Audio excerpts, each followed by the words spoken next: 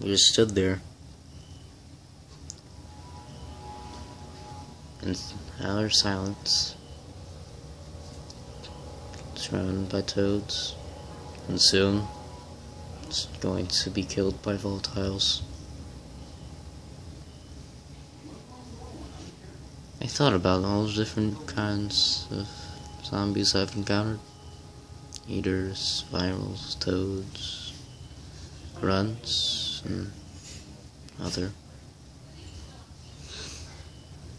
I wondered how many other kinds there were. But that's for another day.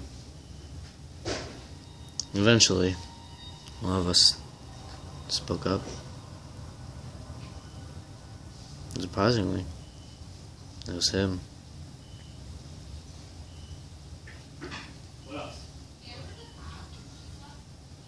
His name was Roy. He's 27. Don't look it, but then again, tends to look a lot older when you're fighting for your life. He'd only been assigned to the Rais's men only a week ago. Didn't expect he'd end up in this situation he'd found himself in.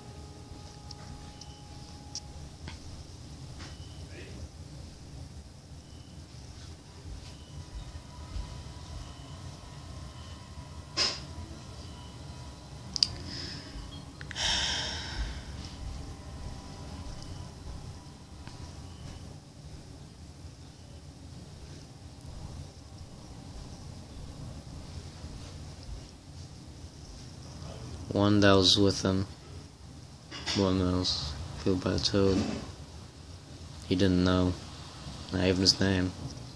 But the other one, that was his brother.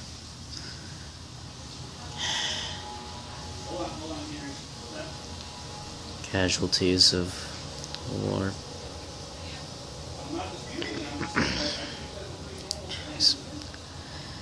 Told him a little bit about myself too. Yeah. After a while, we well, we got to know each other. And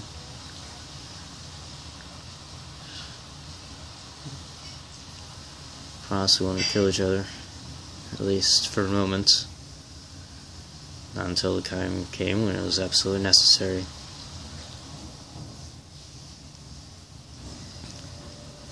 After that, we brainstormed ideas on how to get out of this mess.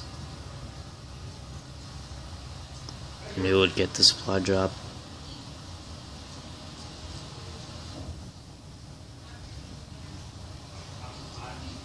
Looked up at the toad for a moment, staring at us. Not even attacking. Was it interested in some way? They have some sort of intelligence. You could say for sure. Notice a few eaters in the backgrounds, but it was unlikely that they would get closer.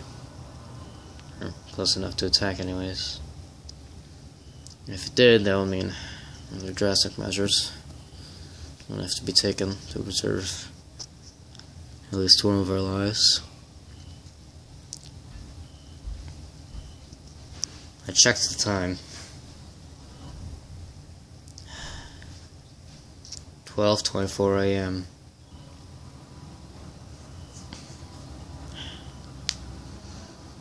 This is going to be a long night. End of vlog 2.